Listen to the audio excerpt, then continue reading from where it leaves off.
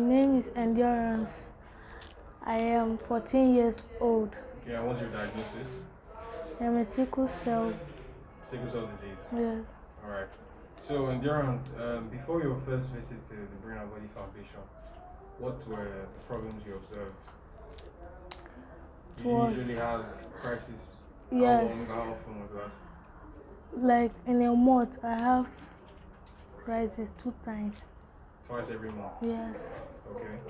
So, um, what about um, pains in your joints? Do you, do Yes. you have any? Yes.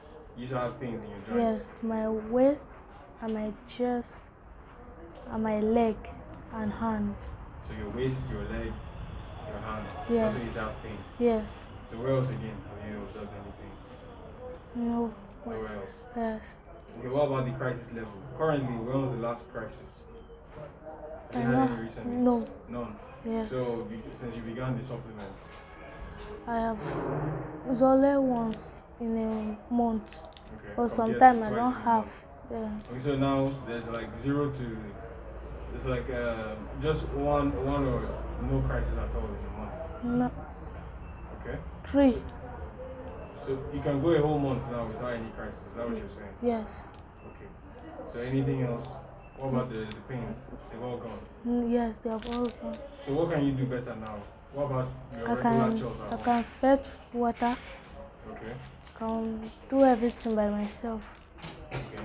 Yes. But before I don't used to fetch water.